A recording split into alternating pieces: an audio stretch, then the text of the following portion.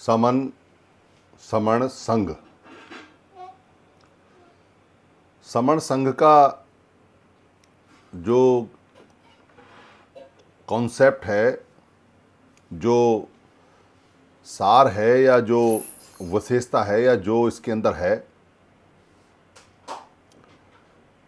वो सबसे पुराना है। पहले वाले को कोई जानता नहीं और जो बुद्ध ने बताया, सिखाया, उसको धर्म में बदल दिया, रिलीजन में बदल दिया, धम्म में बदल दिया तो वो छोटा हो गया। और जो बाबा साहब अंबेडकर ने संविधान में दिया, उसको लोकसभा के नाम से जाने लगे। और जो संविधान के अंदर धाराएँ होती हैं, अनुच्छेद होती हैं, उसके नाम से जाने लगे। पर ये जो धरोहर है, ये जो नियम है, ये जो सिस्टम है, ये पुराने हैं और हमारे हैं, समणों के हैं और हम समण हैं। इस बात को हमारे लोग नहीं जानते। और कोई बताने को भी तैयार नहीं है कि हमारी आइडेंटिटी है क्या, हमारी पहचान है क्या। यहाँ जब हम आरंभ में मिलने लगे, जुलने लगे। तो कोविड का समय पाँच मई 2021 अभी पाँच मई 2023 आने वाली है। उस दिन हमारा डबल डे है, क्योंकि उस समय जो महासमर थे, जिन्होंने भिक्खु संघ के और भिक्खुनि संघ के नियम बनाए, और जो राजा और प्रजा के लिए भी जो नियम दिए, उनका जन्मदिन, उनका मरण दिन और उनका ज्ञान दिन तीनों एक दिन है। और पाँच मई को हमने पहली जूम मीटिंग की और जूम मीटिंग में हम ऐसे ही मिलने लगे समस्या पर बातचीत करने के लिए। शुरू में हम समस्या पे बातचीत करते थे। आपस में इंट्रोडक्शन करते थे और निष्कर्ष निकालने की कोशिश करते थे कि आखिर हम परेशान क्यों हैं? क्या कारण है? क्या इसका निवारण है? तो सभी तरह के लोग यहाँ आते थे, जिनको लगता था कि राजनीति मास्टर चाबी है, वो बढ़ चढ़ के हिस्सा लेते थे। वैसे भी भारत में राजनीतिक लोग ज़्यादा बढ़ चढ़ के हिस्सा लेते हैं, क्योंकि यहाँ सोचने, समझने की जो ताकत है, वो टीवी ने, न्यूज़पेपर ने, पत्रिकाओं ने, एफएम पे समाचारों ने और आपस में चर्चा ने एक ही पॉइंट पे सीमित की हुई है। पूरा अखबार राजनीतिक जो सूचनाएँ होती हैं, घटनाएँ होती हैं, उनसे भरा रहता है। टीवी के अंदर 24 घंटे राजनीतिक विश्लेषण चलता रहता है। जो पत्रिकाएँ हैं, जहाँ भी हैं, सब राजनीति की बात चलती रहती है। ऐसा लगता है जैसे राजनीति के अलावा कोई सब्जेक्ट ही नहीं है। मतलब राजनीति की चर्चा से ही सब चीज़ मिल जाएगी। ये हमारे दिमाग में डाला गया जो प्रचार प्रसार के साधन हैं उनके द्वारा। तो यहाँ राजनीतिक लोग भी आते थे, उनकी बहुत सारी महत्वाकांक्षाएँ होती थी। बड़ी बड़ी इच्छाएँ होती थीं। उनको लगता था कि यहाँ लोग इकट्ठे होने आप, हो रहे हैं शुरू हो रहे हैं। तो यहाँ तवा गर्म है, यहीं रोटी सेक लो। तो दो चारों ने फटाफट आटा गूंद के और रोटी बेल के डाल भी दी। पर यहाँ कहाँ रोटी सीखने वाली थी? क्योंकि यहाँ राजनीति सबसे बाद का सब्जेक्ट है। और समाज नीति लोक नीति सबसे पहला सब्जेक्ट है।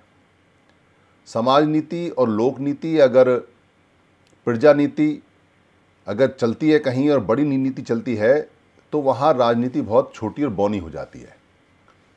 आप समझ सकते हैं कि जैसे शरीर का मुख्य भाग अगर सर है, सिर है हेड है, और सबसे नीचे का भाग जिसको पैर मानते हैं तो राजनीति नीचे के भाग में आती है।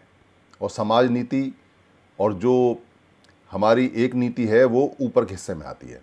वो प्रमुख है हेड है वो। तो यहाँ बातचीत होने लगी और बातचीत में सारे लोग अपने अपने तर्क, वितर्क, कुतर्क सब यहाँ देते थे। सवाल आते थे, सवालों के जवाब देने लगे।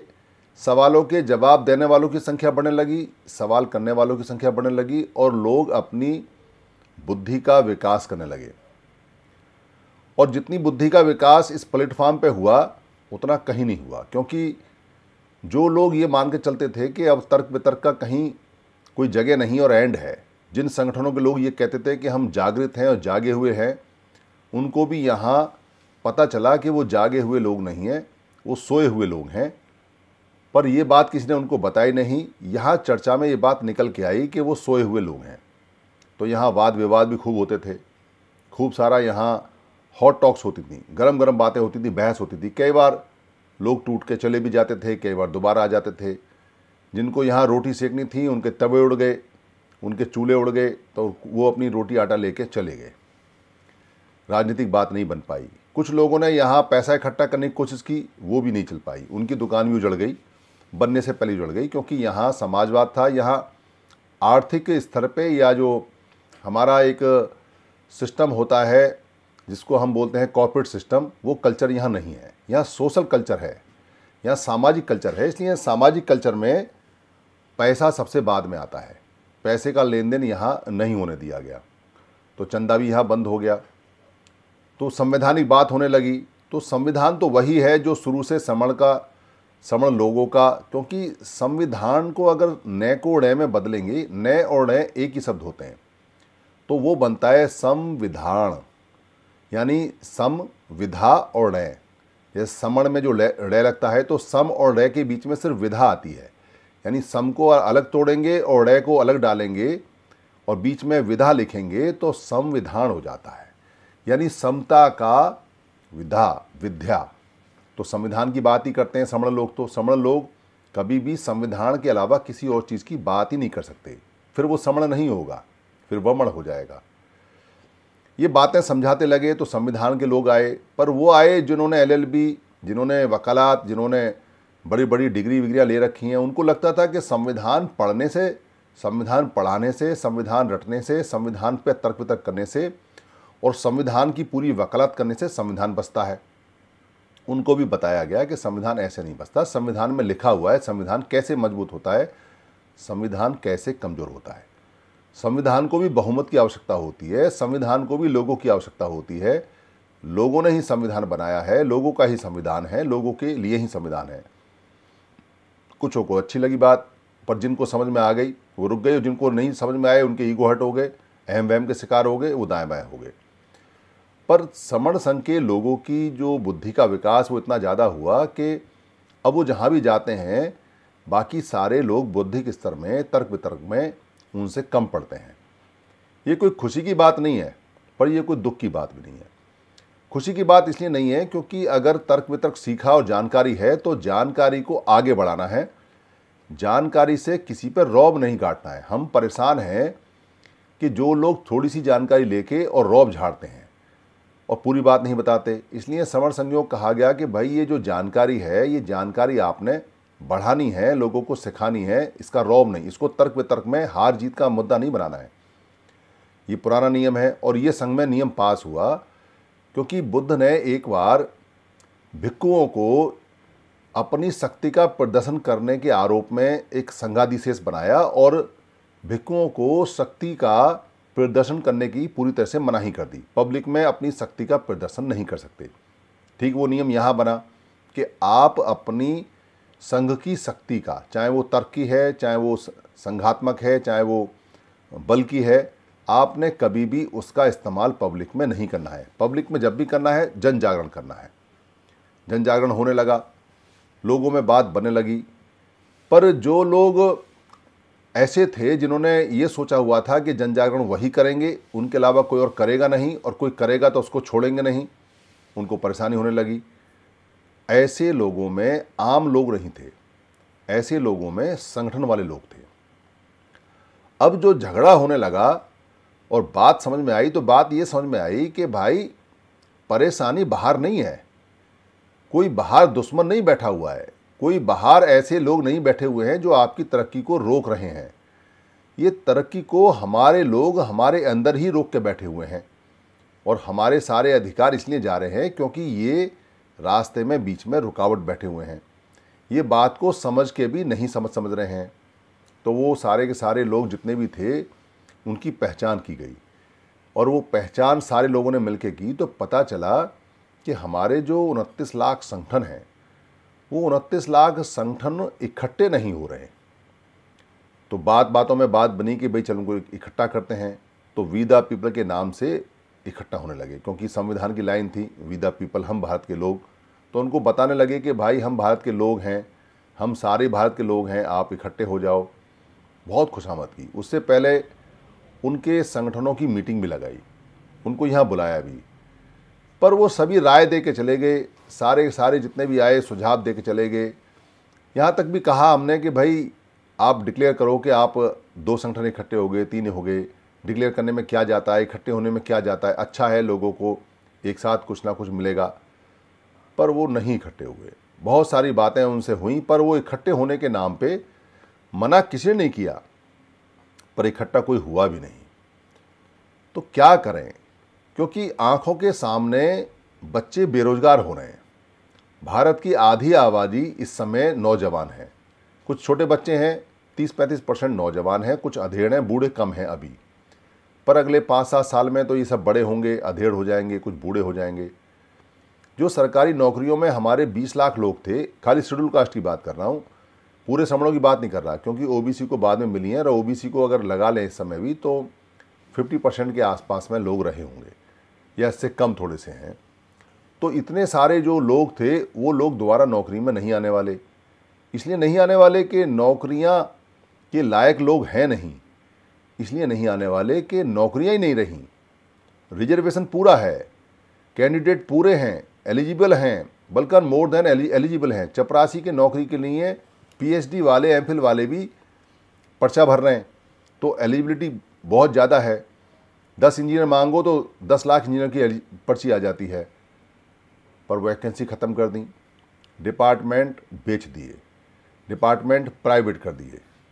तो बड़ी आफत आई। जो सरकारी कर्मचारी पहले थे, उनसे बात हुई तो पता चला कि अधिकतर पेंशनर्स हो गए पहले बीस लाख कर्मचारी थे अब पाँच लाख रह गए हैं, पंद्रह लाख लोग पेंशनर हैं, उसमें भी जो मर जाते हैं, उनकी पेंशन आधी हो जाती है, जब उनका पार्टनर मर जाता है तो वो भी ख़त्म हो जाती है।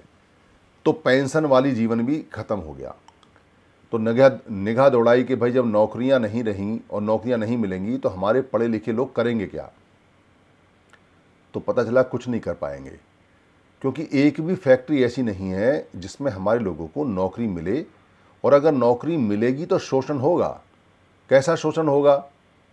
जिस काम की कीमत भारत के बाहर दो लाख रुपए है, और वो भी हफ़्ते में पाँच दिन और एक दिन में आठ घंटे, यानी चालीस घंटे काम करना है, चार हफ़्ते काम करना है 160 घंटे की कीमत दो लाख रुपए है, यहाँ पे बारह घंटे काम करना पड़ रहा है छः सात दिन काम करना पड़ रहा है, और उसको पैसे मिलने सत्रह हज़ार रुपये पंद्रह हज़ार रुपये सोलह हज़ार रुपये और आटे का भाव है चालीस रुपये किलो और पैंतालीस रुपये किलो तो सरवाइव कैसे करेगा परिवार? बस इतना ही है कि एक टाइम की रोटी खाएगा तो पढ़ नहीं सकता। तो पढ़ेगा नहीं, क्योंकि पढ़ाई के रास्ते बंद हो गए, बंद कर दिए। प्राइमरी स्कूल बंद किए जा रहे हैं। रोज़ आप खबर सुन रहे हो कि प्राइमरी स्कूल बंद हो रहे हैं। और हरियाणा के अंदर तो कमाल हो गया। सरकारी स्कूल में जाएगा तो वो बंद किए जा रहे हैं और प्राइवेट स्कूल में जाएगा तो सरकार उसको पैसा दे रही है, प्रोत्साहन कर रही है। यानी अपने खुद के स्कूल बंद कर रही है। और प्राइवेट स्कूलों को बाकायदा बच्चों को पढ़ने के लिए पैसा दिया जा रहा है ताकि बच्चे सरकारी स्कूल से नाम कटाएँ, प्राइवेट में एडमिशन हो जाए, फिर प्राइवेट सरकारी स्कूल में जब एडमिशन होंगे नहीं तो उनको बंद करना आसान हो जाएगा। जब वो है ही नहीं कोई तो बंद हो जाएगा। प्राइमरी स्कूल बहुत सारे बंद हुए। यूनिवर्सिटियाँ प्राइवेट हो गई और जो अच्छी एजुकेशन, जिसको टेक्निकल एजुकेशन बोलते हैं, मेडिकल की, साइंस की, या जो लॉ है या जो टीचिंग के हैं ये ऐसे प्रोफेशनल्स कोर्स हैं, उन कोर्सों की बहुत ज़्यादा कीमत हो गई। सरकार ने ना तो कॉलेज बढ़ाए और ना ही कि कोई संसाधन किया ताकि लोग उसको सस्ते में पढ़ सकें। तो अब पढ़, पढ़ने वाले ज़्यादा हैं और वैकेंसी है नहीं तो बेचो अपना घर। अब आपको तो पता है कि बच्चे को पढ़ाना ज़रूरी है तो कोई लोन ले रहा है, कोई घर बेच रहा है, कोई ज़मीन बेच रहा है, कोई सोना बेच रहा है, बच्चों को पढ़ा रहे हैं। अच्छी बात है, बच्चों को पढ़ाना चाहिए। पर बच्चों पढ़ के क्या करेंगे? क्योंकि पढ़े हुए पहले ही बहुत हैं, ये और पढ़ेंगे तो ये मज़दूरी के लायक तो रहेंगे नहीं और मज़दूरी करनी भी नहीं चाहिए। तो मज़दूरी करेंगे नहीं और करनी चाहिए नहीं। और जो इनके लायक जॉब है, प्रोफेसर की, एसोसिएट प्रोफेसर की, डॉक्टर की, इंजीनियर की, ब्यूरोक्रेट्स की, क्लास वन की, क्लास टू की या L D C U D class B की वो इनको जॉब मिलेगी नहीं क्योंकि सरकारी जॉबें कम हो गई, कटेल हो गई तो आप कंप्लेंट नहीं कर सकते कि आपको नौकरी नहीं मिलती। अब अगर एक लाख बच्चे हमारे हैं और उन पर अगर दस नौ नौकरी निकलती है तो भरो। सरकार तो कह देगी कि भैया दस नौकरी निकली है, जिसमें दम है वो ले लो। देने के लिए कोई मनाही नहीं है। पर सरकार का दायित्व तो है कि दस हज़ार अगर लोग हैं तो उनको दस हज़ार काम पे लगाना चाहिए उनको उनके हिसाब से पैसा देना चाहिए।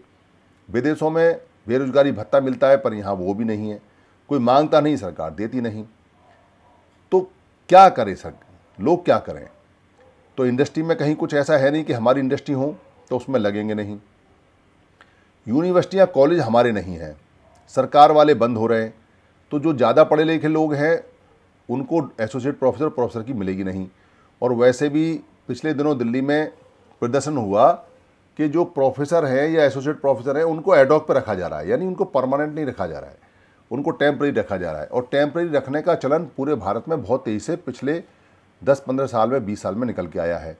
सभी नौ नौकरियों पे टेम्प्रेरी रखा जाता है, एडॉक पे रखा जाता है। तो वहाँ कोई सिक्योरिटी नहीं होती, जब चाहे जब उड़ा दो, जब चाहे जब निकाल दो। और जिसकी सिक्योरिटी नहीं होती, सुरक्षा नहीं होती, वो डेवलप नहीं करती फैमिली। उसको चिंता रहती है, वो उसके फैमिली के अंदर विकास नहीं हो सकता, क्योंकि वो आगे की योजनाएँ बना नहीं सकता। ये एक आफत आई। उसके बाद में देखा कि भाई खेती किसानी कर लें तो किसानों का वैसे ही मामला ख़राब है, क्योंकि किसानों की जो फ़सल है बिकती सस्ते में है और दलाल जब उसको खरीद लेता है तो वही डबल रेट में हो जाती है।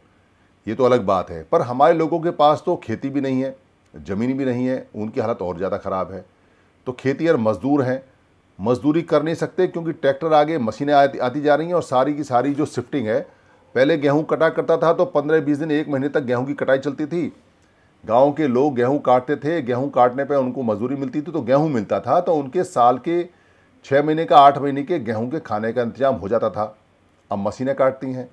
अब एक एक मशीन दसियों खेत उड़ा उड़ा देती है और वो मशीन तीन चार दिन के अंदर पूरा खेत काट देती हैं तो लेबर को क्या मिले? क्या उसको गेहूँ मिलेगा? तो वो ज़्यादा इकट्ठा कर नहीं पाते और खेत उनके हैं नहीं तो खेत में मजदूरी लगभग कम होती जा रही है, ख़त्म होती जा रही है। तो विदेश नहीं जा सकते, क्योंकि विदेश में हमारा कोई आका काका है नहीं, और विदेश को जाने की कोशिश भी करता है तो वीज़ा और फिर वहाँ का सिस्टम, उसको बेचारे को लूट और लेते हैं, जो एजेंट होते हैं। दस अगर लोग जाते हैं तो सात आठ तो लूट ही जाते हैं। जब तक वो अपना घर मकान बेच के पैसे का अरेंजमेंट करते हैं, पता चला कि वहाँ उनको वर्क वीज़ा नहीं अलॉट हुआ। उनको वैसे ही भेज दिया और वहाँ जाके जेल भी हो जाती है, कई बार एक परेशानी के साथ दूसरी परेशानी फ्री आ जाती है। तो क्या तो क्या करेंगे? और हमारा कहीं ऐसा सिस्टम नहीं है कि हम अपने लोगों को कोई सुरक्षित तरीके से कोई रोज़गार या कोई काम या कोई चीज़ उनको दे पाएँ। क्योंकि मार्केट में अगर वो जाते हैं और दुकानें खोलते हैं तो दुकानें चलती नहीं हैं। दुकानों पे कास्ट सिस्टम पूरी तरह से लागू है। यानी कि इतना बारीक कास्ट सिस्टम है कि अगर एक बनिया दुकान पे बैठा हुआ है लाला और वो किसी को सामान दे रहा है तो वो दूसरा कोई अगर व्यक्ति है और वो लाला और बनिया नहीं है तो उसकी दुकान पे ग्राहक जाने नहीं देता। उसको भड़का देते हैं, बहका देते हैं, उसकी कास्ट बताते हैं या उसका कहता माल घटिया है, पर वो प्रोपकंडा करते हैं कान से कान में। बहुत मुश्किल काम है बाज़ार के अंदर अपनी दुकान को सर्वाइव करना। किसी बड़े शहर में, किसी कोने वोने में हो जाए, चल सकती है, जहाँ भीड़ बहुत होती है, जहाँ लोग एक दूसरे को पूछते नहीं हैं, जहाँ इतनी भीड़ है कि किसी को फुर्सत नहीं है। पर छोटे शहरों में, कस्बों में, गाँव में आप दुकान नहीं खोल सकते। और बड़े शहरों में दुकान खोलने के लिए पैसा बहुत चाहिए, क्योंकि दुकानें महँगी बहुत हैं। फिर उसमें माल लगाने को इतना पैसा हमारे लोगों के पास है नहीं, और बैंक कोई लोन वोन देता नहीं। तो व्यापार नहीं कर सकते, व्यापार का कोई काम नहीं कर सकते। तो मैन्युफैक्चरिंग वाला हमारे पास में कोई इंडस्ट्री नहीं तो मैन्युफैक्चरिंग नहीं कर सकते। तो हमारे लड़के क्या करेंगे? ऊपर से अभी मशीनी युग आ गया है। मशीनी युग का मतलब ये है कि अगले 20-30 साल के अंदर हर काम मशीनें करेंगी, हर काम रोबोट करेगा, हर काम आर्टिफिशियल इंटेलिजेंस करेगी। तो हमारे लोगों की आवश्यकता कहाँ पड़ेगी? जब कोई काम ही नहीं होगा तो वो काम क्या करेंगे? और जब काम नहीं करेंगे और सरकार हमको बेरोजगार भत्ता या जो बिना काम का भत्ता वो हमको देगी नहीं, क्योंकि यहाँ ऐसा प्रश्न है नहीं, कोई मानता नहीं तो खाएँगे क्या? तो करेंगे क्या? तो जो व्यक्ति के पास में काम नहीं होता उसको खाने को नहीं होता उसकी सेहत कम होती चली जाती है। आपने देखा होगा लेबर की जो क्लास है जो लेबर के लोग हैं उनकी कमर 26, 27, 25, अट्ठाईस होती है। उनकी कमर बत्तीस चौंतीस छत्तीस नहीं होती अड़तीस नहीं होती। आप ध्यान से देखो जिन लोगों के पास में सब कुछ है उनकी कमर बत्तीस से बड़ी मिलेगी। चौंतीस मिलेगी छत्तीस मिलेगी चालीस मिलेगी बयालीस मिलेगी। पर जो लेबर हैं उनकी कमर बत्तीस से कम मिलेगी, तीस से कम मिलेगी, अट्ठाईस, छब्बीस, चौबीस, ऐसी मिलती है उनकी कमर क्योंकि उनको खाने को नहीं मिलता। दिन भर वो मेहनत करते हैं और उनके शरीर में इतना भी नहीं जाता, उनको मिलता ही नहीं, दिया नहीं जाता कि वो अपने शरीर को अच्छी तरह से ऊर्जा भी दे सकें। क्योंकि अगर ज़्यादा खाने को दे दिया तो फिर वो लेबर नहीं रहेंगे, फिर वो मास्टर बन जाएँगे, फिर वो अपना हक मानना शुरू करेंगे। जैसे बाबा साहब की कृपा से जितने हमारे लोग थे जो पढ़े लिखे और जिनको अच्छा खाना मिला और जिनकी कमर बयालीस और चालीस और अड़तीस हो गई उन लोगों ने आगे की सोचना शुरू किया। तो आगे की ना सोचें इसलिए हमारे सारे संसाधन और सारी अपॉर्चुनिटी धीरे धीरे करके ख़त्म होने लगी। ये बात संगठनों को बताई गई और संगठनों से कहा गया कि भाई, इसको आप रोको, इसको आप ठीक करो। पर संगठन आपस में उनतीस लाख टुकड़ों में टूटे रहे और अफसोस इस बात का यह है कि हमारे बच्चे की लाश गिरती है तो ये संगठन फ़ोटो खिंचवाने जाते हैं अलग अलग राजनीतिक लोग।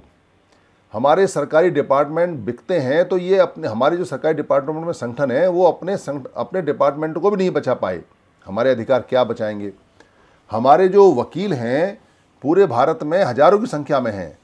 पर दिल्ली के अंदर ही अगर मैं आपको बताऊँ तो यहाँ दसियों संगठन बना रखे हैं और एक दूसरे के खिलाफ हैं, कभी एक साथ रहते नहीं। हमारा कोई धार्मिक सिस्टम नहीं है, हमारा कोई धम्मिक सिस्टम नहीं है। जो सिस्टम हमें बाबा साहब अंबेडकर ने दिया था कि ये हमको सिस्टम बचाएगा वो सिस्टम पूरी दुनिया का सबसे मज़बूत सिस्टम है।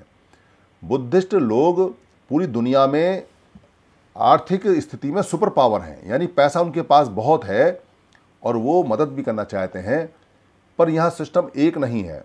यहाँ सारे भिक्कू अलग अलग हैं या सारे धम की संस्थाएँ अलग अलग हैं, इसलिए वो अपना रिप्रेजेंटेशन दे नहीं पाते और वो दे भी नहीं सकते, क्योंकि बाहर वालों को बताने के लिए आपको ये बताना पड़ेगा कि भारत का सिस्टम एक है। और ये वो सिस्टम है जिसमें तीस करोड़ लोग जुड़े हुए हैं तो वो आपकी मदद करेगा। अभी गवर्नमेंट ऑफ़ इंडिया ने एक बुद्ध का कार्यक्रम लगाया। उसमें अम्बेडकराइट बुद्धिस्टों की या जो एक्चुअल बुद्धिस्ट हैं, उनका कोई भाग, भागीदारी नहीं है। पर पूरी दुनिया को ये बताया जाता है कि ये बुद्धिस्ट कंट्री है और ये कार्यक्रम लगा। तो जो कम्युनिकेशन में और जो अपने आप को प्रेजेंट कर देगा, वो बाजी मान ले जाता है। भारत में सत्तर अस्सी साल से और उससे पहले पहले से भी बहुत सारे बुद्धिस्ट कंट्री बुद्धिस्टों के लिए बहुत सारे पैसा देते हैं, बहुत सारी मदद देते हैं, बहुत सारी सब्सिडी देते हैं। पर वो उन लोगों के पास जा रही है जिन्होंने वहाँ अपनी जड़ें जमा रखी हैं। और यहाँ तो आपस में जूतम पत्रम हो रही है, यहाँ तो लड़ रहे हैं आपस में, यहाँ तो भिक्कुओं ने मठ खोल रखे हैं अलग अलग सिस्टम बने हुए हैं और कोई कहता भी नहीं उनसे।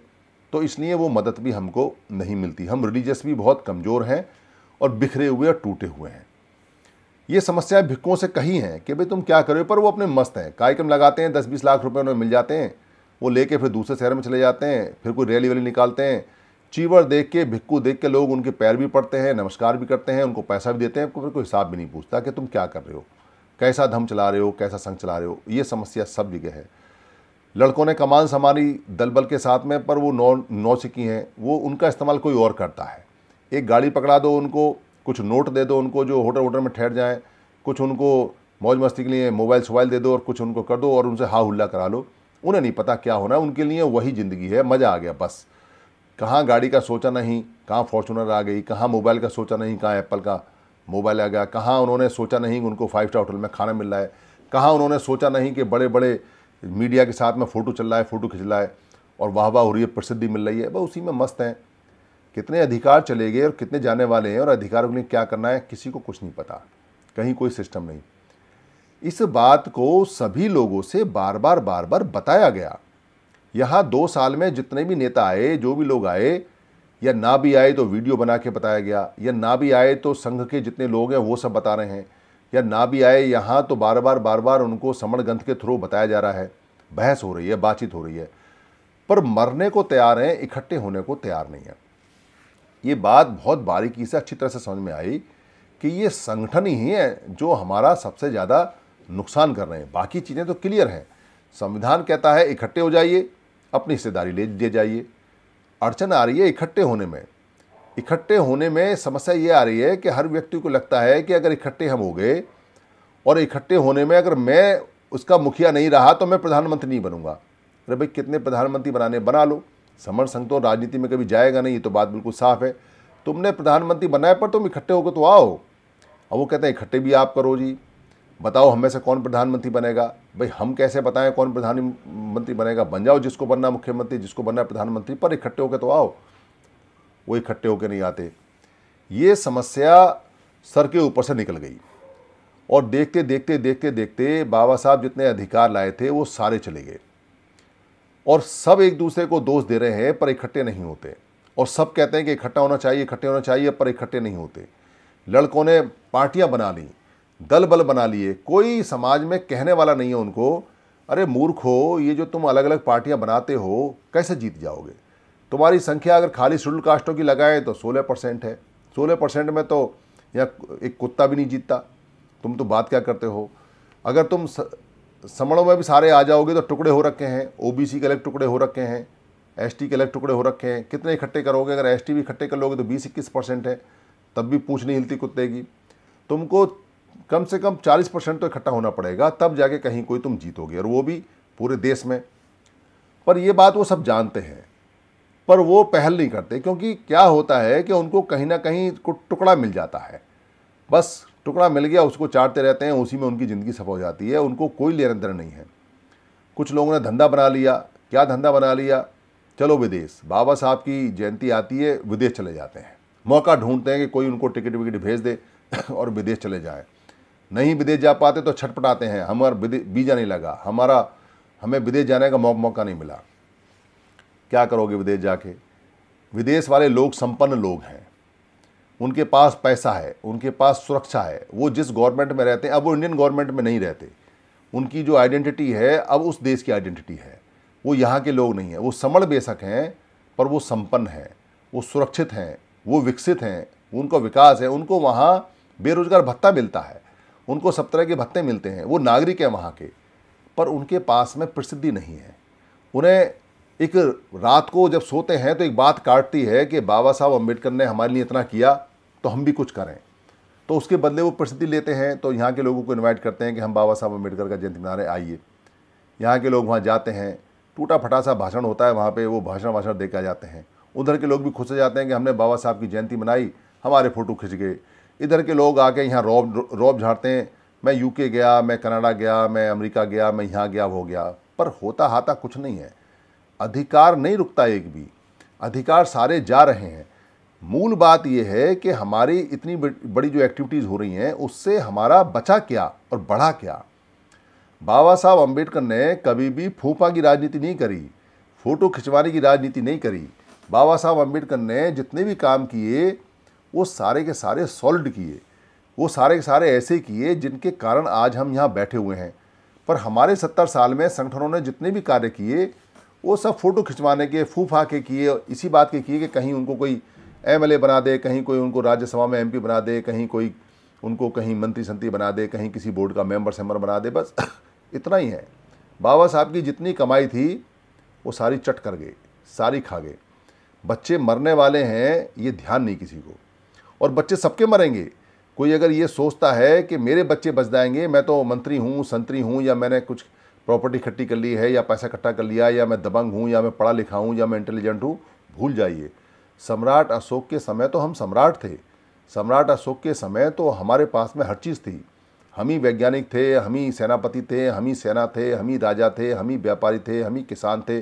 ज़मीनों के मालिक हम, ईरान के मालिक हम, अफ़गानिस्तान के मालिक हम, ईरान के मालिक हम, थाईलैंड के मालिक हम, और ये पाकिस्तान के जो मालिक हैं हम, भूटान के मालिक हम, नेपाल के मालिक हम, श्रीलंका के मालिक हम, कितनी बड़ी मिल्कियत थी हमारी। चली गई सारी सारी। उस समड़ों की थी, चली गई।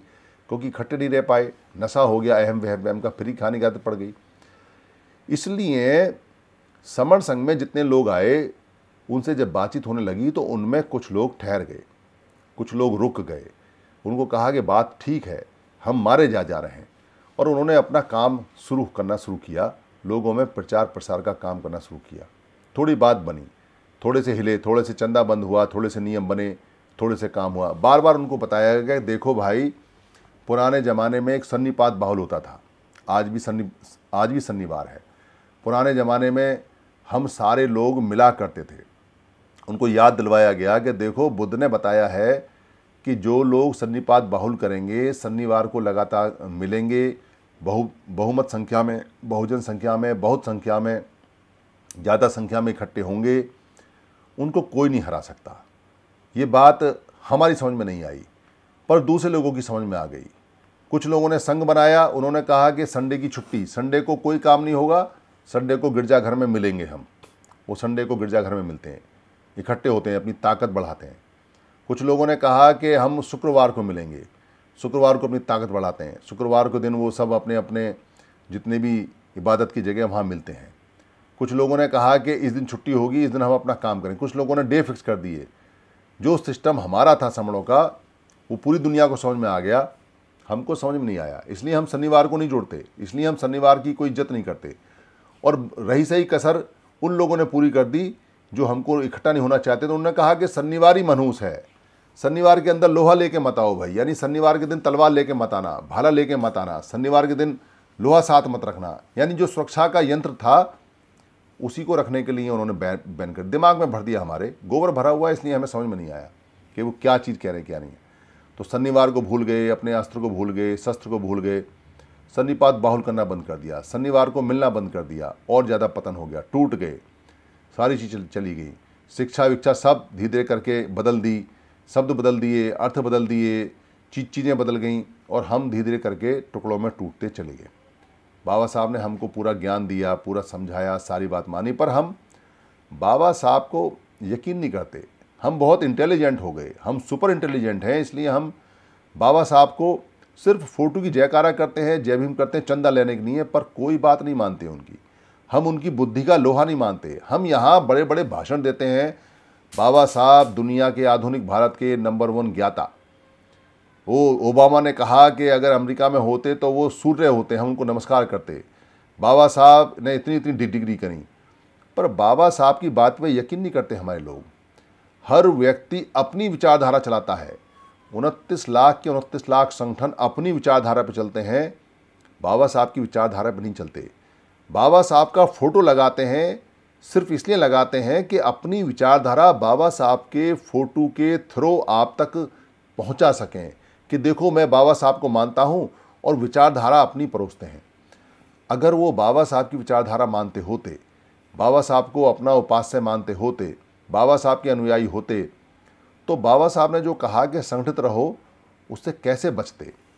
ये बात हमने बाबा साहब अंबेडकर का जो परिवार है, उनके दो लोगों से पूछा। एक से हमने मुंबई में पूछा, एक से दिल्ली में पूछा। दोनों बाबा साहब अंबेडकर के परिवार के लोग हैं। दोनों से कहा कि भाई, बाबा साहब ने इकट्ठा होने के लिए कहा, परिवारवाद के लिए तो कहा नहीं। आप ही नहीं इकट्ठे होते तो क्या मैसेज आएगा? क्या लोग क्या सोचेंगे? जब आप इकट्ठे नहीं, किसी एक मंच पर नहीं आते, आप एक साथ नहीं आते, वैसे तो परिवारवाद के लिए बाबा साहब ने मना किया है। पर फिर भी आप हमारे, क्योंकि बाबा साहब के परिवार के हो मानने हो, सरताज हो, हम तो मानने को तैयार हैं, पर इकट्ठे होकर तो आओ। ही कहता है इस बात को, कोई और कहता भी नहीं, कभी नाराज़ ना हो जाए। भाई संघ से नाराज़ क्या हो गए संघ तो बहुत बड़ी चीज़ है। संघ से कोई नाराज़ होकर जीत नहीं सकता, क्योंकि संघ बहुत पावरफुल होता है। सारे संगठनों को भी ये बात हमने कही। भाई, इकट्ठे होके आओ, चंदा ले लो, पर इकट्ठे होकर तो आओ। दुश्मनी हो गई। लोग कटने लगे। कोई दिक्कत नहीं है, क्योंकि होता है, जिसके पेट पर लात पड़ती है, जिसका पैसा बंद होता है, लोगों की साल भर की आमदनी होती है। ये चौदह अप्रैल जो आता है, इस पर लोग अपने साल भर के खाने पीने का इंतज़ाम कर देते हैं। तो पेट पर लात पड़ती है तो ब्लिब लाता है आदमी, चंदा बंद हो रहा है। पर तुम्हारे साल भर का इंतज़ाम देखें, या अपने बच्चों का ज़िंदगी भर का इंतज़ाम देखें? तुम्हारे चंदे के चक्कर में उनतीस लाख टुकड़े हो गए, और हमारे सारे अधिकार चले गए। तुम्हारा खुद का पेट देखें या ये जो करोड़ों, एक सौ करोड़ बच्चे हैं, उनके पेट देखें, उनकी चेहरा देखें, क्या देखें? तो इसलिए कोई नाराज़ होता है तो हो, कोई अगर ये कहता है कि ये ठीक नहीं है तो खूब कहे, पर रास्ता तो बता दे कि हमारे जो अधिकार है वो बचेंगे कैसे? जब सभी इस बात को कहते हैं कि बिना इकट्ठे हुए रास्ता, बिना इकट्ठे हुए कोई बचेगा नहीं, बिना इकट्ठे हुए हमें कुछ मिलेगा नहीं, जब तक हमारी संख्या भारी नहीं होगी, संविधान हमें अपना, हमारा अधिकार देगा नहीं, हम जीत नहीं सकते, जब तक जुड़ेंगे नहीं तो फिर दिक्कत कहाँ आ रही है? फिर परेशानी कहाँ आ रही है? फिर ये बंद करो सारा सिस्टम। ये उनतीस लाख या उनतीस लाख जो संगठन है, इनके शट डाउन करो, इनको बंद करो। और अगर बंद नहीं कर कर सकते हो इनको तो मर्ज करो। और मर्ज नहीं कर कर सकते हो तो इनको एक करो। और एक नहीं कर सकते हो तो संघ के साथ खड़े हो जाओ। या संघ को बताओ कि संघ को कहाँ खड़ा होना है। जहाँ तुम इकट्ठे होते हो, संघ वहीं। और तुम इकट्ठे हो जाओ, वही संघ है। यहाँ कोई संघ अलग से नहीं, क्योंकि इसका रजिस्ट्रेशन नहीं होता कभी, इसका कोई मालिक नहीं है। जहाँ लोग इकट्ठे हो जाते हैं, वहाँ से संघ आरंभ होता है। और जहाँ से लोग अलग अलग हो जाते हैं, वहाँ से संघ टूट जाता है। ये बातें खूब बताई जा रही हैं, खूब चल रही हैं। और समझ में आ रहा है कि संघ रुकने वाला है नहीं। संघ की गति बहुत तेज हो गई है। ये रुकता नहीं। संघ का नियम मैंने पहले भी बताया था कि संघ कभी मरते नहीं। संघ बस कमज़ोर हो जाते हैं, पर चलते रहते हैं। पर एक बार जब संघ का पहिया घूम जाता है, संघ पवर्तन हो जाता है तो अपने डेस्टिनेशन पे, अपनी नियति पे, अपने परिणाम पे जाके ही रुकता है। इसलिए ये संघ का जो पहिया है, जो संघ पवर्तन है, ये चल रहा है और इसको हमने आरंभ नहीं किया है। कोई ये कहे कि समर संघ में ये कुछ दस पाँच लोग, सौ, दो सौ लोग, पाँच सौ हज़ार लोग, दो चार, पाँच हज़ार लोग, ये समर संघ प्रवर्तन कर रहे हैं या ये समर संघ को चला रहे हैं तो झूठ है, अफवाह है। समर संघ का प्रवर्तन तो उसी समय से हो गया था जब बाबा साहब ने धम्मचक प्रवर्तन किया था। क्योंकि बुद्ध ने जब धम्मचक प्रवर्तन किया था, उससे पहले संघ चक प्रवर्तन किया था। उन्होंने पहले संघ का चक्र बनाया था। उन्होंने पहले संघ बनाया था। अगर संघ का चक्र नहीं चलेगा तो धम्म का चक्र नहीं चल सकता। कोई कितना भी धम्म भीरु हो, धम्म का कितना बड़ा भक्त हो, कोई धम्म का कितना ही बड़ा जानकार हो, कोई धम्म का कितना ही बड़ा प्यारा हो, किसी को धम्म में कितनी आस्था हो, कितनी श्रद्धा हो, पर उससे भी अगर आप पूछोगे कि बुद्ध ने पहले धम्म दिया या संघ दिया तो उसको कहना पड़ेगा कि पहले पाँच लोगों का संघ बनाया, फिर साठ का संघ बनाया। पाँच का संघ बना के धम्म दिया। उन्होंने रास्ते में चलते हुए धम्म देना शुरू नहीं किया, क्योंकि वो भी जानते थे कि संघ सबसे बड़ा है। संघ से बड़ा कोई नहीं है। संघ से बड़ा धम्म भी नहीं है और संघ से बड़ा बुद्ध भी नहीं है। बेशक बुद्धंग शरणंग गच्छामी, पहले आता हो। बेशक धम्मंग शरणंग गच्छामी, दूसरे नंबर पे आता हो। बेशक संघंग शरणंग गच्छामी, तीसरे पे आता हो। पर संघ बना सबसे पहले है। धम्म सीखा तो एक व्यक्ति तक रहा, बुद्ध तक रहा। पर संघ सीखा, संघ बनाया तो धम्म बढ़ गया, पाँच लोगों तक फैल गया। अगर संघ ना बनता तो धम्म एक व्यक्ति तक रह जाता। और ऐसे धम्म के जानकार बहुत हुए जिनको पच्चिक बुद्ध बोलते हैं, जिन्होंने संघ नहीं बनाया उनका पता भी नहीं है कि कौन कौन से पच्चिक बुद्ध बस वो पच्चिक बुद्ध के नाम से जाने जाते हैं। ना उनके नाम है, ना उनके पते हैं, ना उनका कोई काम है। इसलिए संघ चक्र प्रवर्तन पहले होता है। तो उन्होंने आरंभ किया। हमने तो सिर्फ़ इसको देखा, जाना और समझा और इस पर काम करना आरंभ किया। और जब देखा, जाना और समझा और इस पर काम करना आरंभ किया, हमें नहीं पता था कि इसके क्या परिणाम आने वाले हैं। और हमें आगे भी नहीं पता कि इसके अभी क्या परिणाम आने वाले हैं। पर हमको इतना पता है कि संघ कभी खाली हाथ नहीं आते। हमको ये जानकारी पहले वाले संघों से है कि संघ सब कुछ दे के जाते हैं, जो संघ में होते हैं। हमें ये जानकारी पहले से है कि अगर संघ होता है तो सम्राट अशोक बनता है। हमको ये जानकारी पहले से है कि जिसका संघ होता है वो शिकार करता है। हमको ये जानकारी संघ से है कि जिनका संघ नहीं होता, अकेले होते हैं, उनका शिकार होता है। ये जानकारी हमारे लिए बहुत है। हमें कोई पीएचडी नहीं करनी, हमें कोई एम नहीं करना। हमें तो बाबा साहब की उस बात पर पूरा यकीन है कि हमको ऑर्गेनाइज रहना है। हमें तो बुद्ध की उस बात पर पूरा यकीन है कि संघ में शक्ति होती है, संगम शरण गच्छामी, संघ की शरण में ही जाना है। हमें तो इस बात में पूरा यकीन है कि हमारे जितने भी समण धम्म के लोग थे, समण धम्म के चाहे बुद्ध हैं, चाहे संत रविदास हैं, चाहे संत गाडके हैं, चाहे वो नामदेव हैं, चाहे वो तुकाराम हैं, चाहे वो गुरु घकाजीदास जी हैं, चाहे वो गुरु चाँद ठाकुर हैं, कोई भी संत हैं, वो सारे संतों ने एक ही बात कही है कि संगत करो संगत करो संगत करो साथ साथ रहो। तो हमें उनको पढ़ना नहीं है, ना उनको चैलेंज करना है, उनकी बात को मानना है, हम तो मानते हैं। तो हम अपने माँ बाप की बात ही मानते हैं, जो ये कहते हैं कि भैया, कुनवे मोहल्ले में संग संग रहना, अपने घर में संग संग रहना। हम नहीं आइडेंटिफाई करते, हम नहीं चेक करते उनको हम नहीं उसमें पीएचडी करते, हमने तो मान ली इस बात को और उसी पर काम करना शुरू कर दिया। और उसके परिणाम अच्छे आ रहे हैं। उसके परिणाम इतने अच्छे आ रहे हैं कि आज हम किसी भी शहर में जाते हैं, उस शहर में अगर संगी होता है तो डर नहीं लगता। अब वो शहर अनजाना नहीं लगता, अब वो शहर अपना लगता है। जिस शहर में दस बीस संगी होते हैं, वहाँ अब डर नहीं लगता, वहाँ घबराहट नहीं होती, वहाँ अब ये परेशानी नहीं होती कि अगर कोई परेशानी आएगी तो किसको बुलाएँगे? बस फ़ोन कर दो व्हाट्सएप पर डाल दो कि ये दिक्कत है तो कोई ना कोई संगी आके मदद करने के लिए आ जाएगा। ये भरोसा हो चला है और ये भरोसा लाख रुपया खर्च करके भी नहीं हो सकता। जो भरोसा सिर्फ़ संगति करने से और साथ साथ रहने से होता है। इसलिए नागपुर के अंदर जब ये बात तय हुई कि पुराने संघों के आदेश हैं कि जितने भी हमारे चैत्य हैं या जितने भी उत्सव हैं या जितने भी हमारे काम हैं, वो सारे लोग मिलकर एक साथ करेंगे। और निगाह उठा के देखी चारों तरफ़ तो पूरे देश और पूरी दुनिया में जो लोग इकट्ठे होते हैं, वो अपने दिन वाले दिन, जो उनके दिन मुकर हैं, जो उनके उत्सव हैं, जो उनके फेस्टिवल हैं, वो सारे के सारे एक दिन एक शहर में एक जगह इकट्ठे होते हैं। अगर हम मुसलमानों की बात करें, आज ईद है तो ईद पे आज देखोगे कि आज जो नमाज़ अदा हुई है, वो नमाज़ नहीं है, वो बेसिकली असेंबली है। और वो जो असेंबली है, वो बड़ी मस्जिद में होती है, जिसको जामा मस्जिद बोलते हैं। आज छोटी मस्जिद में नहीं इकट्ठे होते, क्योंकि पूरा शहर इकट्ठा होता है। और मस्जिद अगर कम पड़ जाती है तो सड़क पे आ जाते हैं, पर इकट्ठे रहते हैं और एक साथ वज़ू करते हैं, एक साथ सिफा में, यानी कि हाथ पैर धोते हैं और लाइन से बैठते हैं। सारे डिसिप्लिन दिखाते हैं अपना कि देखो डिसिप्लिन कितना है। और जो नमाज़ में एक व्यक्ति करता है, वो सारे उसको फॉलो करते हैं, चाहे उनको नमाज़ आए या ना आए, पर वो अपना डिसिप्लिन, अपनी कमिटमेंट, अपना व्यवहार बता के जाते हैं कि हम एक यूनिटी में हैं और ये हमारा दिन है। शुक्रवार को तो मिलते ही मिलते हैं। ईसाई का जब दिन आता है, गुड फ्राइडे आए या जो भी आए, वो सब एक साथ इकट्ठे होते हैं, एक साथ खड़े होते हैं, एक लाइन में होते हैं एक सुर में आवाज़ करके बोलते हैं। वो अपना डिसिप्लिन शो करते हैं कि हम सब एक हैं। इसलिए पूरी दुनिया के अंदर जितने भी लोग हैं, वो एक जगह, एक समय, एक वॉइस एक आवाज़, एक क्रियाकलाप, एक कला, एक योग सब में अपना डिसिप्लिन शो करते हैं और दुनिया को बताते हैं कि हम स्ट्रेंथ हैं, हम पावर हैं, हम एक साथ हैं।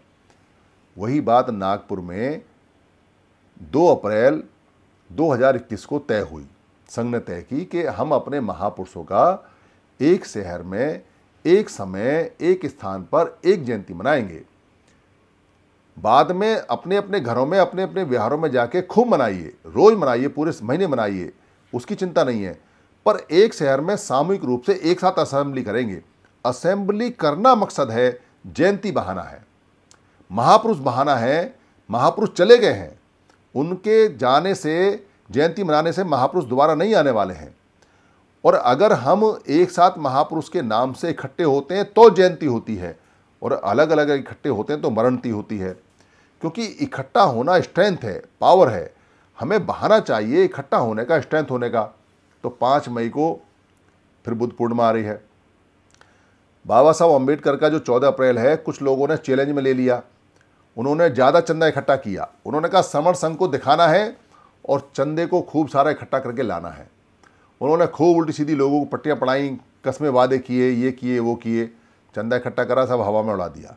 कोई फ़ायदा नहीं, इतनी सारी जयंतियाँ अभी हुई या जो हुई, कोई अधिकार नहीं बचने वाला, कहीं कोई स्ट्रेंथ नहीं शो होती है। एक शहर के अंदर अगर किसी ने दस जयंतियाँ मनाई हैं तो दस हिस्सों में टूट गए। आपने अपना सर्टिफिकेट दे दिया कि हम इस शहर में दस हिस्सों में टूटे हुए हैं। आपने अगर चौदह अप्रैल को एक शहर में पचास जगह जयंती मनाई है तो आपने बता दिया सबको कि आप पचास टुकड़ों में टूटे हुए हैं और खूब पिटोगे आप, इसमें कोई शक नहीं है। पर कुछ लोगों ने अक्लबंदी दिखाई है, खासतौर से जो संगी लोग हैं, उन्होंने कोशिश की कि एक शहर में एक जयंती बाबा साहब की होनी चाहिए। तो उन्होंने एक शहर में एक जयंती मनाई है और उसका बड़ा पॉजिटिव असर गया है, क्योंकि हम अपना डिसिप्लिन शो करने के लिए निकल आए बाहर, हम अपना व्यवस्था दिखाने के लिए बाहर निकल आए, हम बता रहे हैं कि हम बिना पैसे के एक साथ एक जगह इकट्ठे होकर दिखा सकते हैं और हम हो रहे हैं। तो दूसरा मौका हमारे पास आ गया बुद्ध पूर्णिमा का।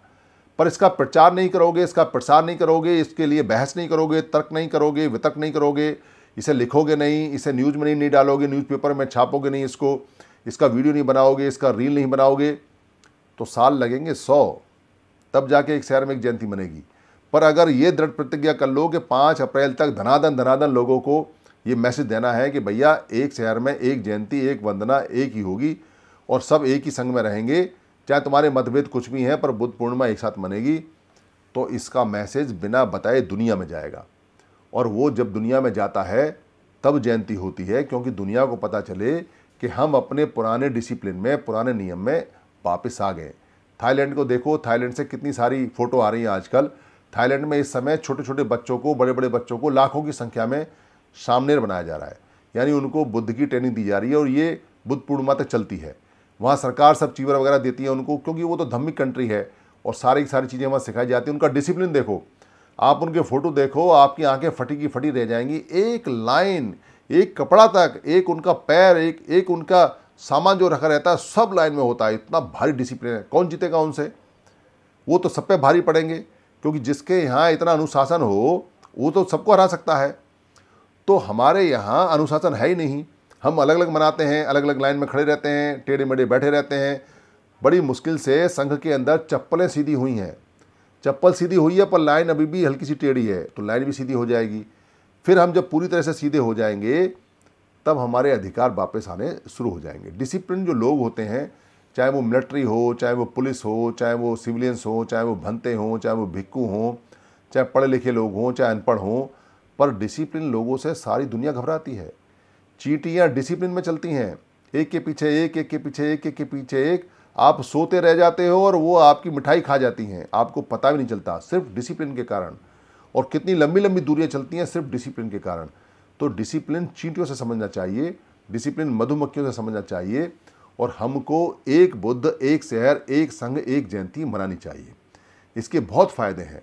अगर आप इन सबको गहराई से सोचोगे तो आपको पता चलेगा कि हमारे संघ की जो शक्ति है, वो एक होने में है और एक हर काम में एक होना है। खाली एक होने का नाटक नहीं करना है।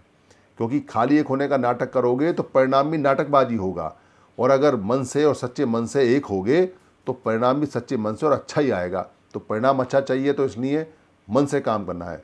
जिद दुनिया की है, जो जुड़ना चाहते हैं और जो जुड़ते हैं, वो जीतते हैं। हम हर हालत में जीत जीतेंगे। अगर हम डिसिप्लिन में रहेंगे, एक संग में रहेंगे, एक बात मानेंगे, सदा साथ रहेंगे और ये काम बहुत ही से चल रहा है और बड़ा अच्छा है। आज बात रही है ठीक ठाक काम चल रहा है, आगे भी काम चलेगा। और कल हमारी एक संगति भी है जो हमारे जो गुरु चाँद ठाकुर हैं, उनका हम जन्मदिन मनाएँगे। साढ़े नौ बजे हम वहाँ मिलेंगे। जो लोग दिल्ली और दिल्ली के आसपास के हैं, जो आना चाहें, वो अपना खाना साथ लाएँ। जो खाना साथ नहीं लाएँगे, वहाँ उनको थाली मिलेगी। थाली की कीमत जो भी होगी एक सौ बीस, एक सौ तीस रुपये, वो उनको खुद देनी पड़ेगी। और उस कार्यक्रम में आए, वो कार्यक्रम हमारा इसलिए बहुत ज़रूरी है क्योंकि हमारे जो लोग हैं, जो बाबा साहब को मानने वाले हैं और जो बुद्ध को मानने वाले हैं, वो बंगाल में बहुत हैं और बंगाल के लोग सारे वहाँ इकट्ठे हो रहे हैं। वो संघ को समझ रहे हैं, संघ में आ रहे हैं। अगर मेरे इस वक्तव्य से कहीं कोई किसी को दुख हुआ हो, कोई गलती हुई हो तो संघ मुझे माफ़ करे, संघ मुझे माफ़ करे, संघ मुझे माफ़ माफ़ करे। संघंग नमामि संघंग नमामि संघ नमामि।